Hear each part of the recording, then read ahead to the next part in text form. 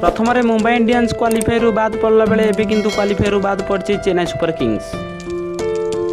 କାଲିର match Chennai super king versus Mumbai Indians ଥିଲାବେଳେ Mumbai Indians toss win କରି fielding ପାଇଁ ନିଷ୍ପତ୍ତି ନେଇଥିଲା ଫାର୍ଷ୍ଟ ଇନିଂସରେ ଚେନ୍ନାଇ ସୁପର କିଙ୍ଗ ବ୍ୟାଟିଂ କଲାବେଳେ ସବୁ ବ୍ୟାଟ୍ସମ୍ୟାନ୍ମାନେ ବିଫଳ ହୋଇଥିଲେ ମହେନ୍ଦ୍ର ସିଂ ଧୋନି ଶେଷ ପର୍ଯ୍ୟନ୍ତ ନଟ୍ ଆଉଟ୍ ହୋଇ ପଡ଼ିଆରେ ଥିବାବେଳେ ଟିମ୍ କିନ୍ତୁ ସତାନବେ ରନ୍ରେ ଅଲଗ ହୋଇଥିଲା